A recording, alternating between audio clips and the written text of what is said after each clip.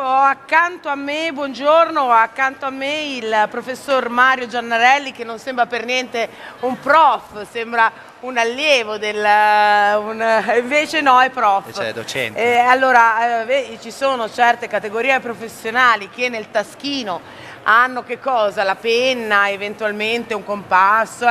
Qui chiaramente abbiamo forchetta Tre e due cucchiai, cucchiai. certo. È emblematico, ma anche necessario da È utilizzo un po' proprio. il nostro simbolo anche della scuola, è il nostro logo, Il logo del- del Pacinotti di Bagnone. Quest'anno è il mio primo anno a scuola e sono contentissimo perché i ragazzi sono molto spronati e si danno molto da fare. Allora, noi ricordiamo che l'Istituto di Bagnone, il Pacinotti di Bagnone, da quando è iniziata la fiera, insieme all'Istituto Alberghiero di Maria di Massa Il Minuto, ehm, eh, ha costruito e poi realizzato un apposito menù qui accanto al ristorante delle Nazioni, eh, che era quello che accoglieva ospiti. Com'è andata? È andata Com'è benissimo, è andata Molti benissimo. perché eh, chi si avvicina ai Abbiamo- pranzi al ristorante delle Nazioni può scegliere o un menù o l'altro. Quindi in molti Certo. hanno scelto il Pacinotti. Sì, sì, diciamo che Eh. è stato un 50%, però la nostra è una scuola giovane, quindi è poco conosciuta ancora. E È una scuola della Lunigiana perché c'è proprio un'attenzione particolare al turismo e sta crescendo tantissimo. Quindi è una scuola che c'è da 6-7 anni. E- però è andata bene, abbiamo avuto tantissimi clienti, quest'anno secondo me c'è stato un incremento anche all'interno della fiera è stata un'esperienza bellissima. Indubbiamente eh, noi, eh, ed è questa la filosofia con cui nasce la eh, Fucina, sapere, sapore e conoscenze, perché riteniamo che la cucina sia un esercizio intimamente culturale no? e quindi senza la formazione eh, proprio didattica, accademica, si va poco lontano. È vero, il nutrimento è un'esigenza primaria, ma la cucina Sì, va certo. spiegata, va raccontata, va raccontato il prodotto, capito, interpretato. Come nasce un piatto? Perché prima a microfoni spenti il professore mi diceva eh, oggi il piatto sarà eseguito dalla classe seconda, da Certo. alcuni ragazzi, alcuni allievi della seconda classe, ma il piatto è nato con la classe quarta. Certo. E come nasce Allora, un piatto in una eh, scuola?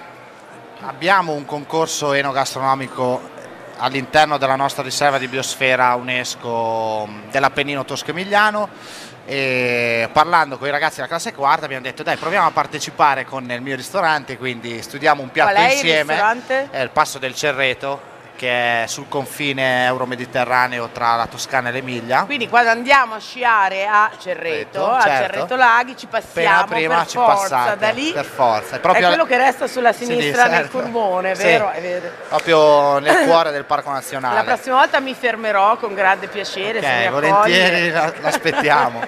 Allora eh, nasce una discussione eh, legata molto al territorio. E questo menù chilometro zero, questo concorso, quest'anno il tema è il pane.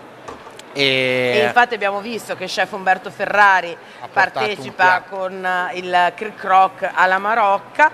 Voi Certo. presentate un gaspacio tiepido con pane di po', ora ne Certo. parliamo, e fonduta di vacca pontremolese, bruschetta e germogli di bigliolo. Allora, detto così, ma qui c'è un patrimonio, ver- veramente Certo. un patrimonio. Allora, intanto il pane la- Allora. l'avete aperto, giusto, per certo, l'abbiamo mostrare aperto per farlo vedere perché è un pane Il Po non è San Carlo Po di Massa. No, È è, Po Po, vicino a Fivizzano, nel comune di Fivizzano, è uno dei quattro forni che ha riconoscimento PAT ed è un pane cotto a legna e è molto interessante perché è un forno piccolissimo, quindi ha una produ- produzione veramente limitata, è quasi tutto il venduto, tutto Eh. venduto il pane che producono e- ed è tutto venduto in zona, quindi al di fuori magari dei comuni limitrofi non è che si conosce tantissimo questo pane. E è molto particolare secondo me anche per l'acqua che utilizzano, Certo, ok? Perché in montagna abbiamo un'acqua notevole e favorisce questa lievitazione molto lenta e chiaramente la cottura nel forno a legna eh, sappiamo tutti che in un pane conta tantissimo. E io ho fatto questa scelta perché è un pane con un sapore non molto deciso, che però si accompagna bene secondo me a, a un formaggio locale che è, abbiamo scelto una cacciotta eh, di vacca pontremolese, quindi c'è stato un recupero su questa razza autoctona nostra eh, da parte del Ministero, da parte della scuola e di vari progetti che sono stati affrontati negli anni precedenti e ora è partita la produzione anche dei latticini, dei loro mh, trasformati. Possiamo trovare lo yogurt, possiamo trovare tantissime cose. E dove lo troviamo? Lo No, troviamo diciamolo. a caseificio Bongi, Bongi. Bongi a Soliera, Soliera. eh, sempre comune di Filizzano e anche fattoria didattica, quindi con gli alunni poi ci sarà un'uscita in primavera e si andrà a vedere mh, la lavorazione. Noi non facciamo una classica, una classica No, no, no, fonduta. professore, un attimo, qui eh, ci sono i germogli di Bigliolo. Allora. eh, il, il fagiolo di Bigliolo, io ho avuto Certo. eh, la fortuna di Sì. intervistare più volte un produttore e ricordo che a un certo punto questa mh, ciotolina Certo. di fagioli pochi cadde e ci fu la corsa proprio a recuperare anche l'ultimo fagiolo, per questo dicevo c'è un patrimonio, eh, proprio perché è una bandiera. una bandiera del nostro territorio, anche lì eh, è stata una scelta perché non possiamo ancora utilizzare magari un prodotto stagionale come il fagiolo, quindi bisogna aspettare ancora un po', anche il germoglio siamo ancora in anticipo, difatti il concorso si sviluppa fino a maggio, quindi noi puntiamo ad avere questo prodotto anche tra le prossime due o tre settimane. E E- tipo lo zafferano, certo, guardate, siamo- allora la siamo- telecamera potrà, no lasciamolo fermo che la telecamera da solo Ok. inquadra proprio per dare eh, ecco, la percezione di questa produzione davvero eh, im- importante e così ristretta, no? lei prima ricordava il pane, ma lo è altrettanto.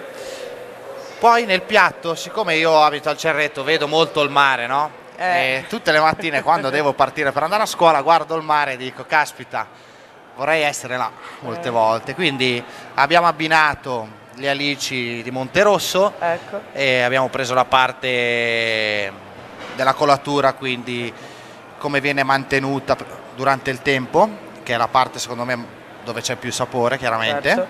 E abbiamo preso pesce povero, un pesce azzurro e l'abbiamo abbinato a- al nostro pane, alla nostra fonduta e nel nostro piatto ci mancava forse un po' di croccantezza, quindi con la parte eh, del pane un po' raffermo abbiamo fatto una cialdina croccante, fritta. Come l'abbiamo fatta? Abbiamo fritta, sardina? solo uova, pan grattato Uova pan sì, grattato? e si frigge con la carta da forno e rimane la nostra cialda. E, mm, mancava un po' di parte di acidità, quindi abbiamo preso un pomodoro, abbiamo fatto una concassé, quindi che rimane abbastanza al dente, e abbiamo fatto un'emulsione, un'acqua di pomodoro che eh, diventerà, viene appena intiepidita, così da sprigionare un po' più i profumi, un po' più Prego, il sapore. prego, prego. Allora, iniziamo la nostra preparazione. Iniziamo la preparazione di questo. Vai. D'olio. tiepido con pane di po, fonduta di vacca pontremolese, bruschetta e germogli di bigliolo. Ok. Il gazpacio, Eh, lo ricordava il eh, professor Giannarelli, il piatto messa? partecipa al concorso Sì. enogastronomico Ragazzi, delle riserve bianca di biosfera UNESCO. Dov'è che si svolge, professore, il concorso quest'anno? Concorso. Ah, L'anno scorso era alla scuola Alma, se non Sì, ricordo quest'anno male. sempre le finali si terranno verso fine maggio-giugno a, ad Alma, però il concorso quest'anno è stato È spostato, eh, ce l'hanno sì, detto. È stato allargato anche alle altre riserve di biosfera UNESCO, quindi si troverà la Calabria, si troverà le Alpi Lendrensi, il Monviso e hanno aderito a questo concorso e fanno partecipare sia i ristoratori sia i produttori locali. Quindi nel nostro piatto, oltre a vendere il piatto in locale, anche i produttori dove si può trovare il prodotto. Ottimo. ok? E le semifinali quest'anno, quindi di tutta la nostra riserva di biosfera, si tengono a Bagnone all'interno del nostro alberghiero, li ospitiamo, tutti i ristoratori che si contenderanno le semifinali, i vincitori andranno poi alla finale ad Alma, la scuola di cucina italiana. Allora, giocate in casa, Dove- mi raccomando, eh. Sì, certo. Via, professore, mi raccomando. Certo. Allora, vedo Vai, che prende ragazzi, un oggetto temutissimo in cucina, che è il sifone, Sì, vai, fate agitate un attimo. e eh, che sarà Vai, gestito, suppongo, per fare eh, questa fonduta. Dico bene, professor Giannarelli? Sì, vai, agita e a testa in giù. Sì?